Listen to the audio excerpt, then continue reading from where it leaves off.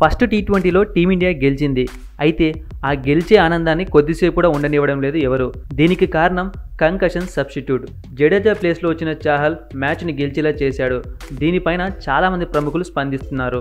మనం ఒక్కొక్కరి గురించి చెప్పుకుంటూ పోతే చాలా వీడియోస్ వస్తాయి. అందుకే నేను కొంతమంది ప్రముఖులు మాట్లాడిన మాటలను వీడియోలో కలిపి చెప్తున్నాను. ఈ వీడియోలో మనం కొంతమంది ప్రముఖులు ఏమన్నారో చూద్దాం. ఇక నెక్స్ట్ వీడియోస్లో చాహల్ కోహ్లీ అలాగే సంజు శాంసన్ ఏమన్నారో అవి సపరేట్ సపరేట్ వీడియోలో చూద్దాం. టీ ట్వంటీలో ఫస్ట్ టైం కంకషన్ సబ్స్టిట్యూట్గా భారత స్పిన్నర్ చాహల్ చరిత్ర సృష్టించాడు. అంతేకాకుండా ప్లేయింగ్ ఎలెవెన్లో లేని ప్లేయర్ కూడా మ్యాన్ ఆఫ్ ది మ్యాచ్ అందుకోవడం ఇదే మొదటిసారి కావచ్చు.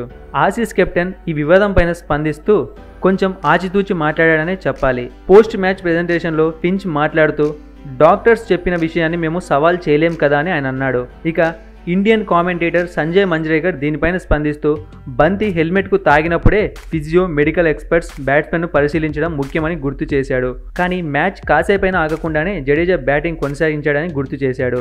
ఇంగ్లాండ్ మాజీ కెప్టెన్ మైకిల్ వాన్ దీని గురించి మాట్లాడుతూ కంకషన్ సబ్స్టిట్యూట్ లుసుగును భారత్ వాడుకుందని వ్యాఖ్యానించాడు.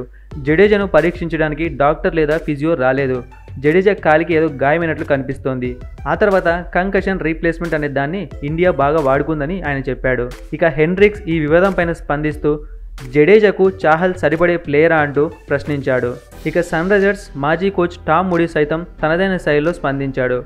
నిబంధనల ప్రకారం హెల్మెట్కు బంతి తాకిన వెంటనే సదరు ఆటగాన్ని చెక్ చేయాల్సి ఉంటుంది. కానీ జడేజా హామ్స్ట్రింగ్ ఇంజురీ వారిన పడినప్పుడే ఫిజియో వచ్చి పరీక్షించి వెళ్ళాడు.